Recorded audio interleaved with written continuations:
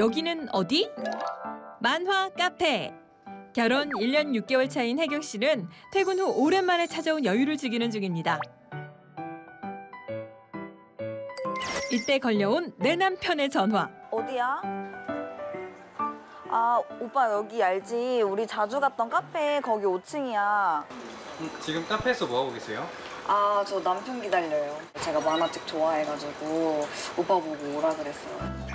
남편 병국 씨 등장. 네, 이렇게. 뭐해? 오빠 우리 저번에 삼척 갔다 왔잖아. 우리 선배 언니가 엄청 부러워하더라고. 애기 때문에 자기네들은 못 가는데 너네들은 그래도 시간 되면은 갈 수 있어서 되게 막 부럽다고 막 그러더라고. 아직 우리는 결혼했지만 아직까지는 연애하는 거랑 똑같다고 생각하면 될 것 같아. 여행도 나는 근데 이런 쪽 여유도 되게 좋아.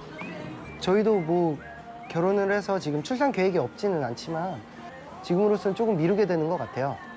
솔직히 아이가 태어나서 대학까지 들어가는데 비용도 솔직히 사교육비도 그렇고 만만치 않다고 하잖아요. 좀 준비된 상태에서 출산을 하고 싶은 그런 마음이 있습니다.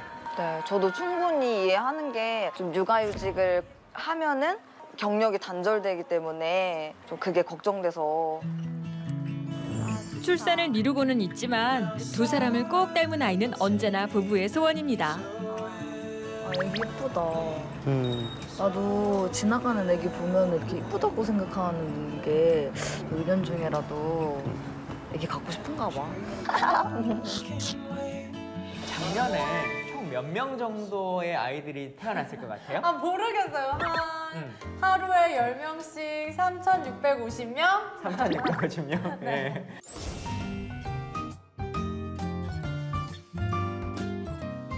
제가 태어났었던 시절 정도, 한 40년 전 네. 정도만 생각해 보면 몇 명 정도의 아이들이 매해 태어났냐면요. 100만 명 정도의 아이들이 태어났어요. 그러면은 뭐 3분 몇 분의 몇출을 줄인 거죠? 3분의 1로 확 줄어버린 그렇죠. 거죠? 실제 한 40% 정도밖에 태어나지 않는 어. 문제를 안고 있는 것인데 네. 이런 것들을 해결해 나가기 위해서 국가가 여러 가지 제도라고 하는 것을 만들어내죠. 결국은 아이를 키우는데 너무 힘이 들잖아요. 맞아요. 예, 그래서 아이를 키울 때 국가가 좀 함께 키워주겠다라고 하는 그 답을 드리기 위한 네. 문재인 정부의 다양한 정책들이 있어요.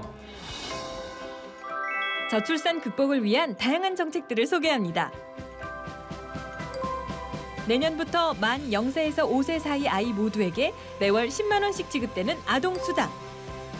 국공립 어린이집 이용률도 지금의 3배 가까이 늘릴 계획이고요. 40%에서 80%까지 육아휴직 급여 인상은 이미 시행 중. 두 번째 육아휴직자에 대한 아빠의 달 보너스도 최대 200만 원까지 지급합니다.